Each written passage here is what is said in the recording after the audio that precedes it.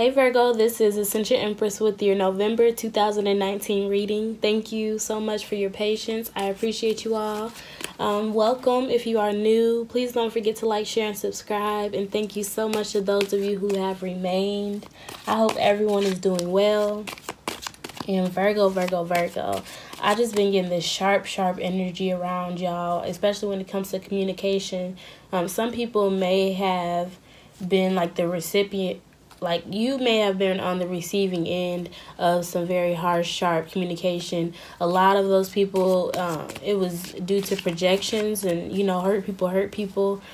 And yes it is a very sensitive time right now as well because it's scorpio season. So with mercury being in scorpio mercury retrograde um, venus being in sagittarius so a lot of people kind of really wanting their freedom but also wanting love and happiness so yes, um, I'm getting a, a lot of Virgo energy in other people's readings too mainly with the seven of pentacles. So a lot of people are kind of really looking at their investments analyzing all the hard work and everything that they put in um, what their intentions have been over time and what they've brought into fruition.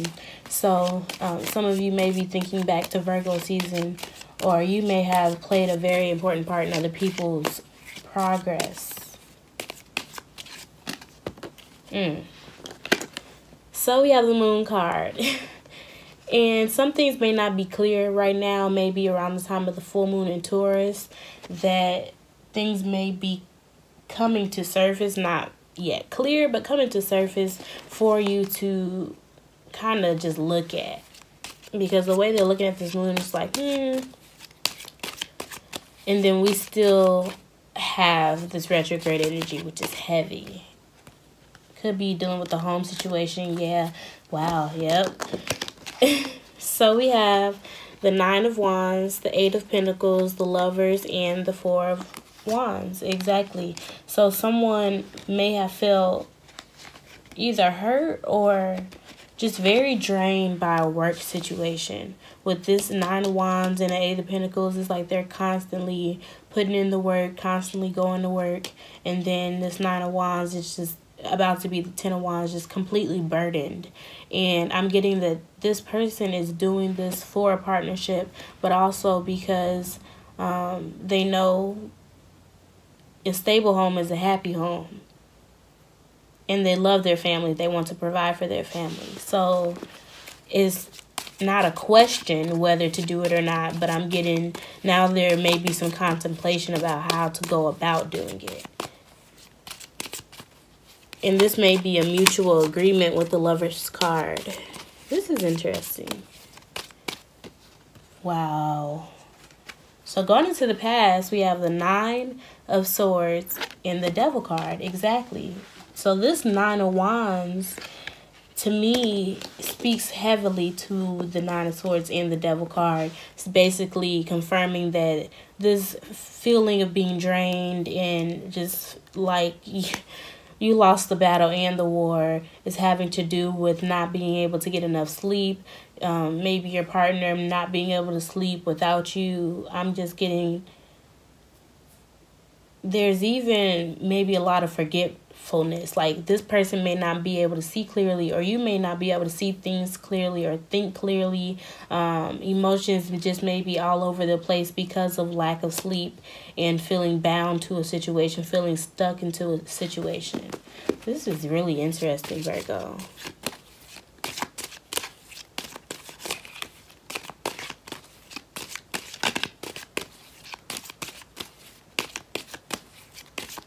When I see the Nine of Swords, I often think Virgo, especially in a low vibrational sense. Wow, yes, that's what I'm talking about. So, going forward, you have the Ace of Swords and the Page of Cups. So, there may, we just talked about how things may not be clear right now, especially with this moon card and the devil, and then not being able to sleep. It's hard. Like, one when you're not eating well enough, you're not staying hydrated, and you're not getting enough sleep. I've been there. It's not easy. And so clarity is here with this Ace of Swords and, and the Page of Cups. I'm getting clarity, um, communication, very clear communication, and answer. I'm hearing strongly an answer, an apology. an apology is the only answer. Ooh. okay.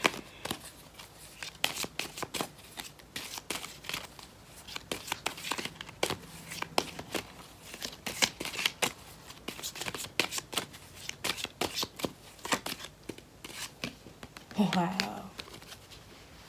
Beautiful, beautiful. So, Virgo, clearly, this energy, it's, it's always the last stretch. It's always the last stretch when you start to feel like, is it worth it? Did all that I invest in is was it worth it? Was I supposed to do it this way or was I supposed to wait and do it go about it a different way?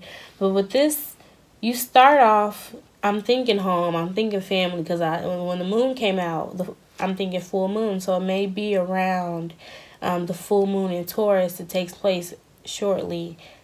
Also speaking towards you know stability and values and possessions, and we're thinking about Venus, we we think about Taurus, and so there may be some worry around that and some fear, but I'm getting more at more so after the full moon and once that energy subsides um, and you really just continue to focus on something of a deeper meaning, not this man made energy. Because um, that's where this devil card and this nine of wands and this ten of, and this nine of swords is here for.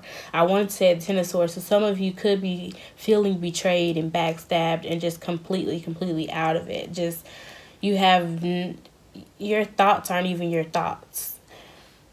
But to see this lover's card and the four of wands and the ten of cups and the ace of swords you have all nothing but positivity going forward and this negativity going into the past. So this is very exciting very exciting virgo. I'm getting your happiness your family your home the unit is on your mind it's on your heart and the health of it all the wealth your wealth is the health of your family that is such Virgo energy when I think about Virgo. Oh, I love it. I love it.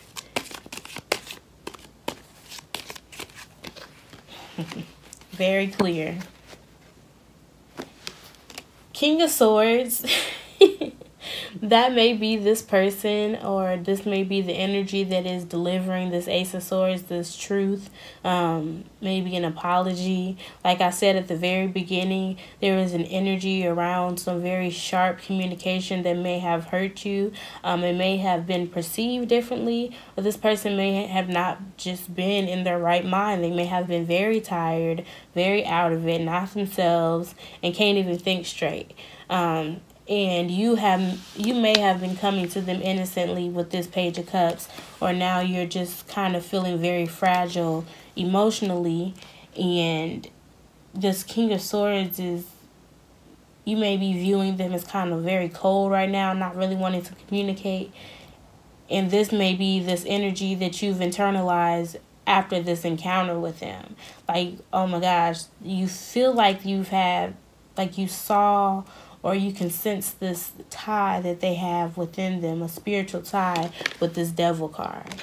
And you about ready to cut it on. You like you you can cut that but I'm getting you're not gonna cut that with more negativity or fear. You want to bring happiness and stability so that this darkness can run. Because when you see nothing but light shining around these, cups, this beautiful, Virgo. Very interesting. But I'm still feeling a very, very grounded energy. And that may be why this swords energy is very necessary when we come when we, especially with this eight of pentacles so wanting to work towards something consistently may feel tied may feel bound um, may feel like you are selling yourself really short spit putting in all this work and not getting much in return. Because we talked about you are giving all these other people advice about how to get the best buck for their investment.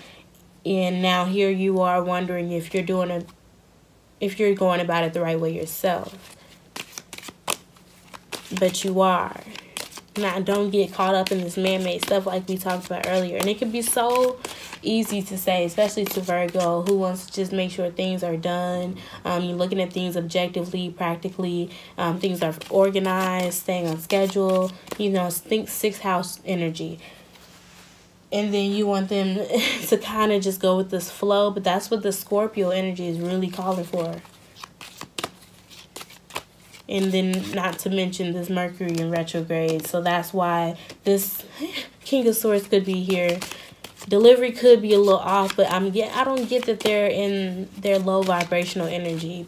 This Scorpio retrograde full moon energy could just be making it seem as such.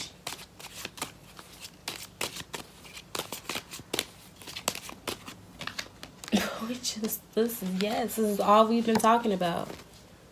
The seven of cups.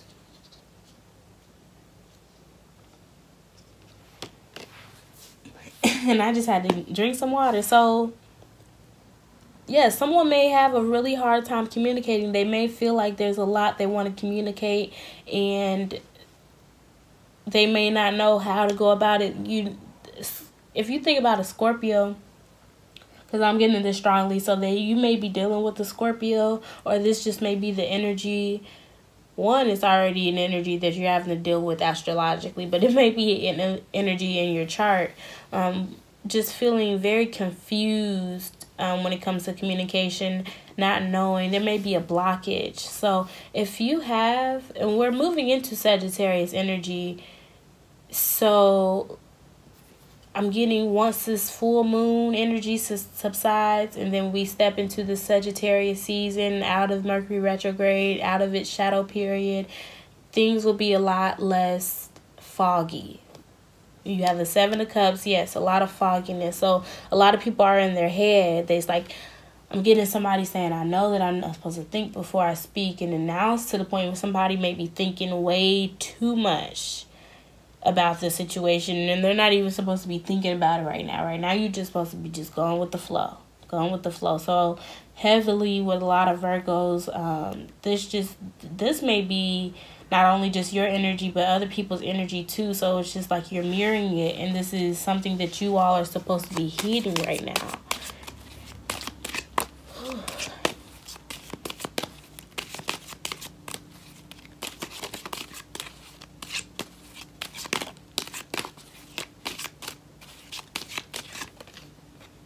Amen. we just we just talked about this. This is not something that you are supposed to be really thinking about right now. See it. See it for what it is. Don't put any label on it or anything right now. You just just hang out. Just chill out. Cuz if you try to do too much, it's you're going to end up back in this energy. Pull one more clarifier. Spirit messages do you have for Virgo month of November 2017?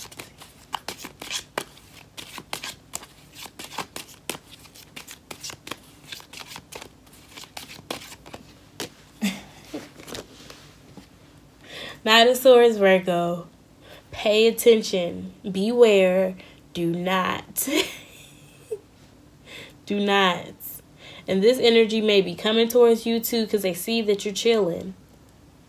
The only thing you should be doing right now is retrograde stuff. Revise, sharpen those skills. Work on that Eight of Pentacles. But don't get too far in thought with this Knight of Swords. You got the Knight of Swords in here and the King of Swords. And you got the Ace of Swords up in here. You got Nine of Swords you got swords, Virgo. And you're Virgo. So, yes. Thank you, Virgo. That is your reading. I pray, I pray that you all see the light in this all. This is a very beautiful, beautiful time. It's a great opportunity. All you have to do is look past the self-sabotaging energy and the mindset.